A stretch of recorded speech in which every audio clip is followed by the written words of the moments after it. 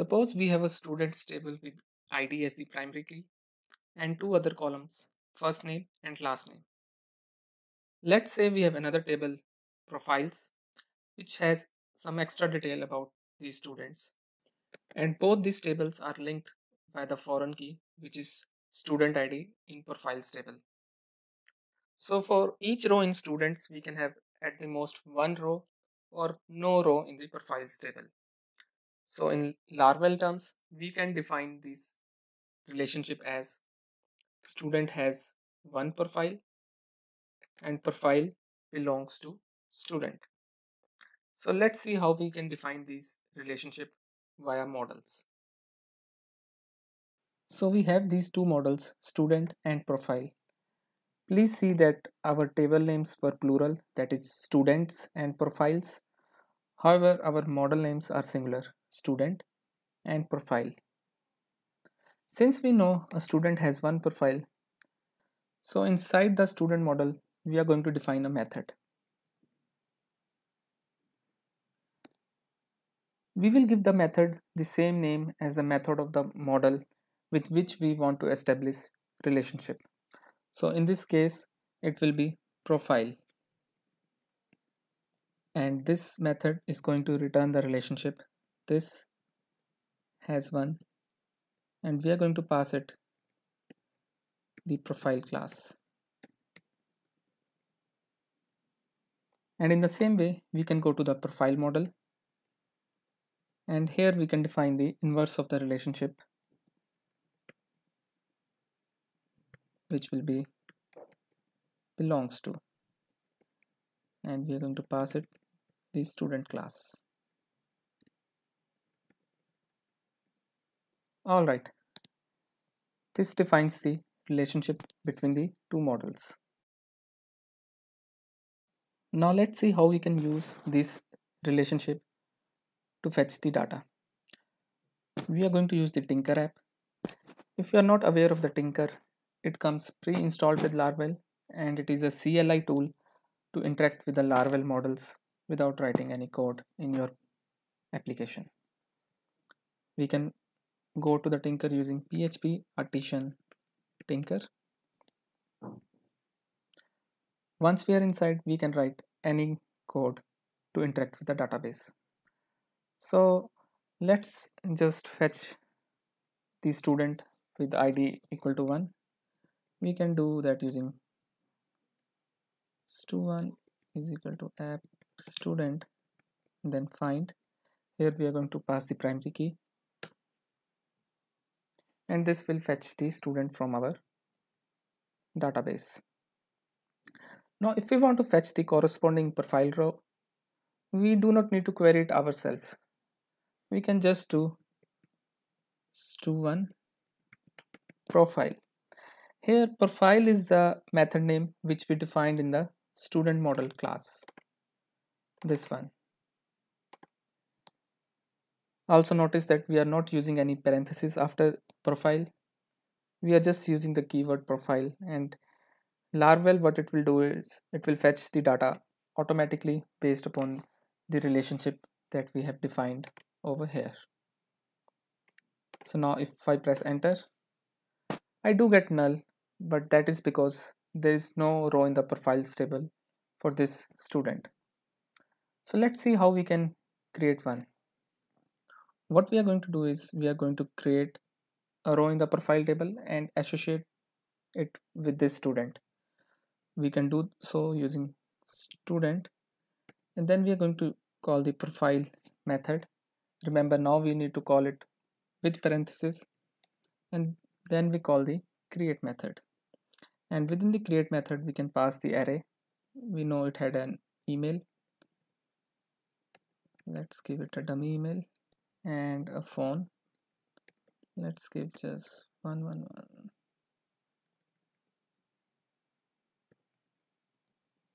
okay.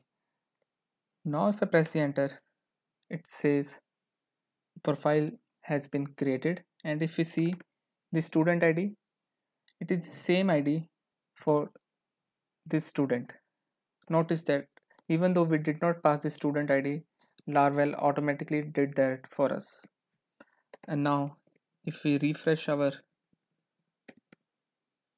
object now if we fetch the profile it will give us that particular row from the profile table. So this is how one-to-one -one relationship works. Just a word of caution here. Defining one-to-one -one relationship in Laravel does not guarantee that you will have only one profile record for the student you have to manage this yourself in your application Laravel will only make sure to fetch just one record from the profile table. So if you want, you can always do another create. Laravel won't stop the insertion. It will insert the record. So if I do this command again, if I give different email and different phone number, it is going to insert the record. You see it has inserted the record with the same student id and next time when you fetch it it would uh, it would make sure to fetch you only one record but it could be any one of uh, the profile record. It could either be this one or it could either be this one. So how you can check this. Uh, well first of all let me just truncate the profile table. And now if I fetch the student again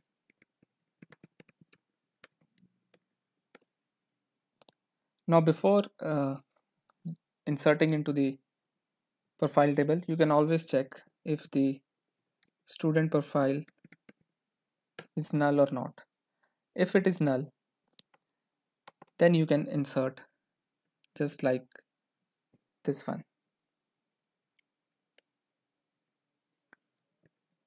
I'm going to refresh it again.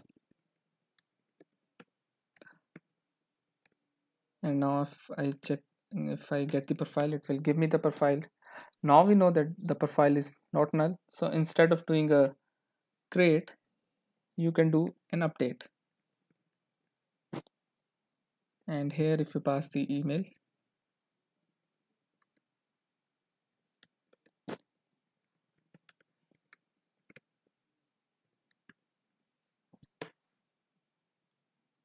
Laravel will make sure it will update the profile of this student only. You do not need to pass it the profile ID.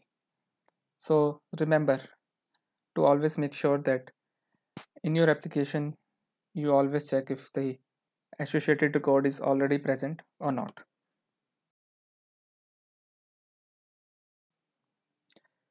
We can also do an inverse. So we can fetch the profile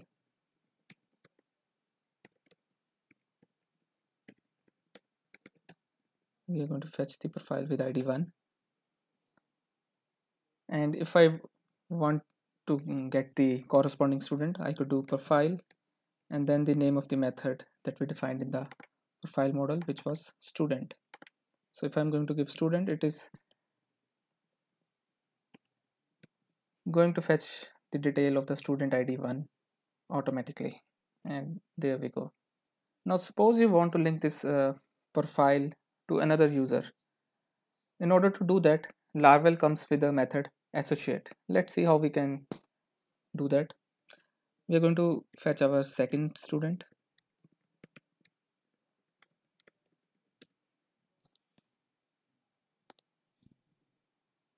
And what we are going to tell is we are going to fetch our profile.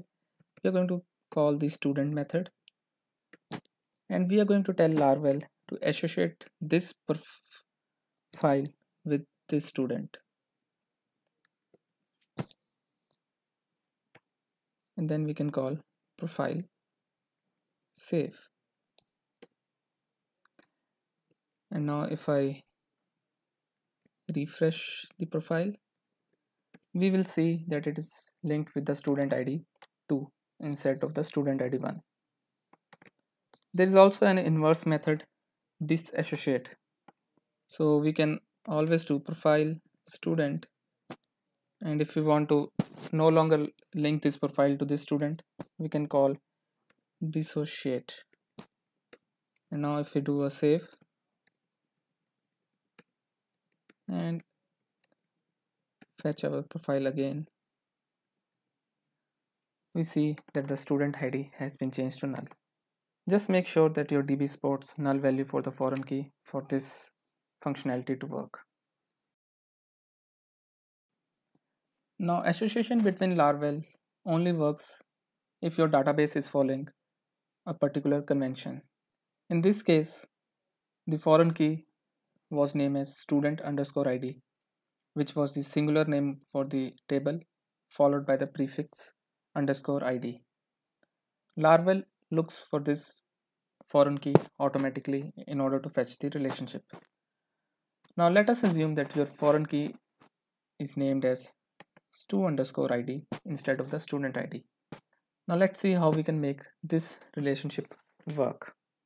Now that the student underscore id column has been changed to stu underscore id, let's see what happens when we try to fetch the data based upon the relationship. We are going to fetch the student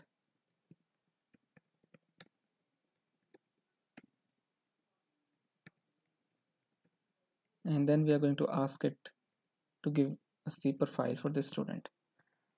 When we do this, we get an error. It says unknown column student underscore id. So Laravel is looking for the column student underscore id, but since the column has been changed, it is throwing this error. So now we need to tell Laravel to use this column instead of the student underscore id. So since the foreign key has been has been changed to stu underscore id, we need to specify this in our model relationship. So we can do that in the student model and with within this has one relationship we can tell Laravel that the name of the foreign key is stu underscore id. Remember, by default, Laravel is looking for student underscore id. But now, since that has been changed, we need to explicitly tell Laravel that the name of the foreign key is this one. We need to make the similar change in the profile model. Here also we can pass the second key, uh, second parameter, which is going to be stu underscore id telling it this is the name of the foreign column so let's go to tinker again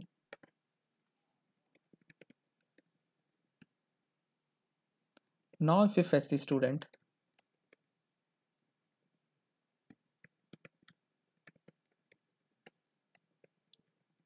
and now fetch the profile for the student that one works so we are able to fetch the profile even though the name of the foreign key has, has been changed from student underscore id to stu underscore id.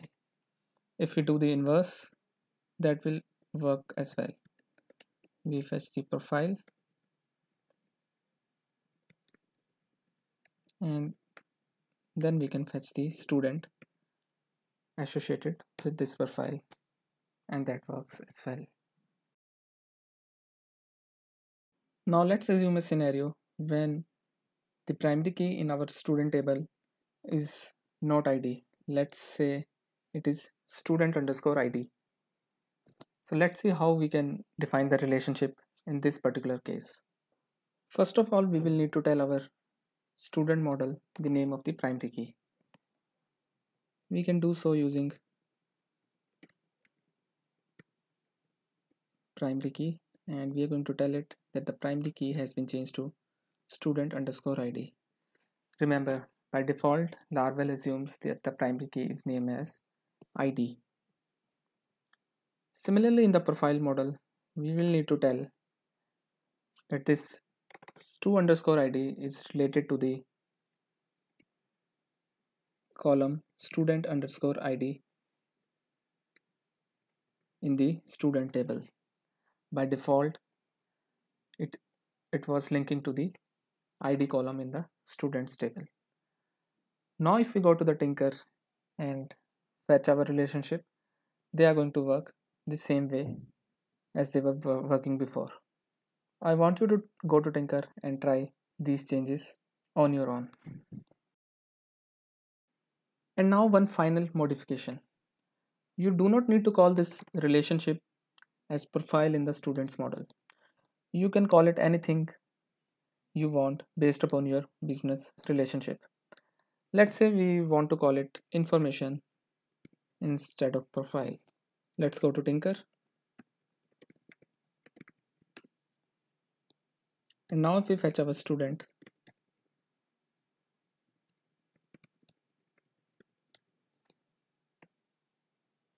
If we fetch the hmm. profile we will get null because the relationship has been changed.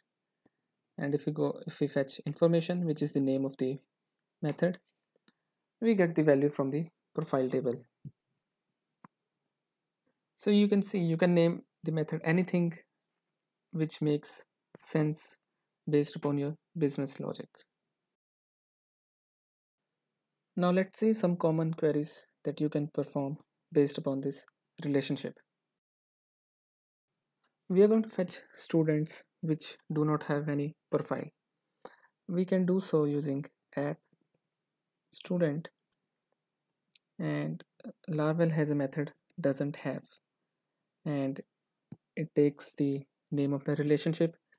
Now since we know that our relationship between the student and profile has the name as information so we are going to pass it the information.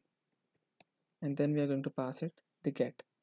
So this will get all the students which do not have any corresponding row in the profiles table and if I press enter we get all these records. Now if we want to fetch the students which have profile well we could do that. Instead instead of using does not have we can use has. And if we press enter we get the two records which have the corresponding rows in the profile table. Now let's see how we can fetch students which have empty email or specific email. Here we need to query based upon the record in the profiles table. So we could uh, do that using where has method instead of has method. So let's see how we can do that. Here we need to fetch the student based upon the condition in the profiles table so let's see how we can do that. We could use instead of has we could use where has method and pass it the name of the relationship. And then we can pass it a closure. And within the closure we could use the condition. So the condition will be email you're going to use like. And let's say to one at the rate pres the rate percentage. Here we are going to use get. And I'm going to copy this into the tinker. And now it gives us the student which satisfied this particular condition in the profiles table. So we have got into a lot of depth with our has one chip. Hope this video was helpful to you. In the next one, we are going to cover has many relationship. So if you have uh, liked this video, please subscribe to the channel and I will see you in the next video. Thank you.